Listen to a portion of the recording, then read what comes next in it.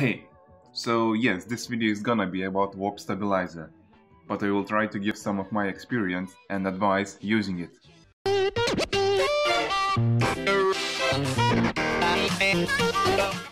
I have some shaky handheld footage from our trip to Warsaw. Warp Stabilizer is a great tool to stabilize the shaky handheld footage. To find this effect, go to Effects and search for Warp Stabilizer. Drag the effect on your video and as you can see it starts automatically to analyze your footage and of course stabilize it. As you can see, by default, Warp Stabilizer makes quite a good job for stabilizing footage. In most cases it is enough, but sometimes it can make footage look jellyish and not that smooth. And always keep in mind that this effect crops and zooms a little bit of your footage. So let's see what can we do more. In the result section by default it comes smooth motion. This selection is good for moving footage, but if your footage is steady, try to use no motion option. It makes your footage look like shot on a tripod. Now, it is important to choose the right stabilizing method. You can find there four options.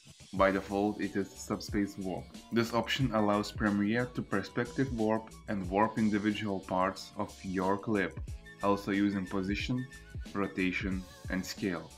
Basically, these options loses some parameters by going down. It kinda goes from 4D to 3D-ish to 2D and to 1D stabilization.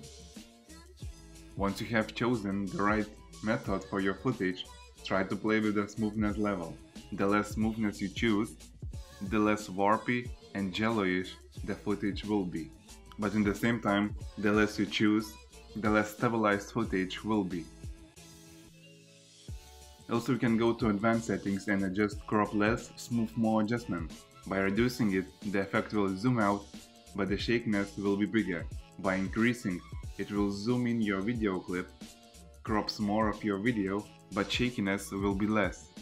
So that would be it about Warp Stabilizer.